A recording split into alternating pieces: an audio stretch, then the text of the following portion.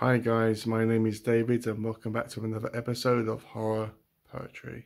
Today's poem is written myself, I wrote it, and it is called Written in Blood by David Walton.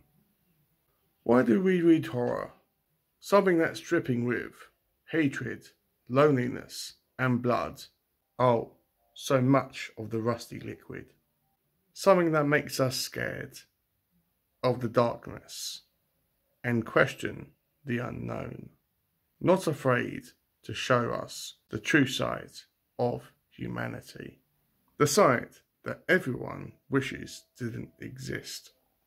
The blind hatred for each other and the future of our race.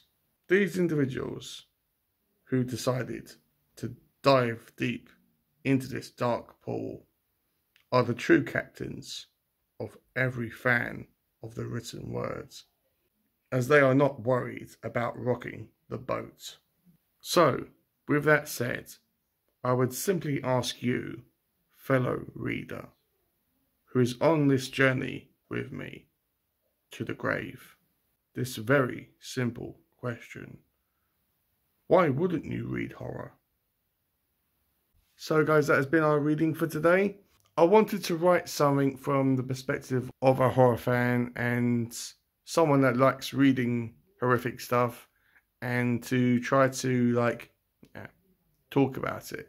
Uh, I'm not sure about this poem. I like it. Well, I, I like some aspects of it, but I don't like some aspects. Or I'm not 100% satisfied, but I suppose that's for every person who writes anything, whether it's poetry or not.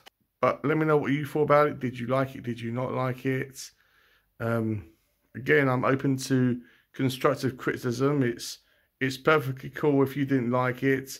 Just let me know why you didn't like it, or um, if you didn't like specific parts of it, what parts did you not like, or what parts did and did you like? I mean, if if any. I'm just doing this for fun, as I just write, as I enjoy writing poetry. So, yeah, just something I enjoy. So hopefully something that you enjoyed listening to. So I better let you go, guys, as you've probably got more important things to do rather than watch a video of me talking and rambling on. So yeah, I'll see you on my next video, guys.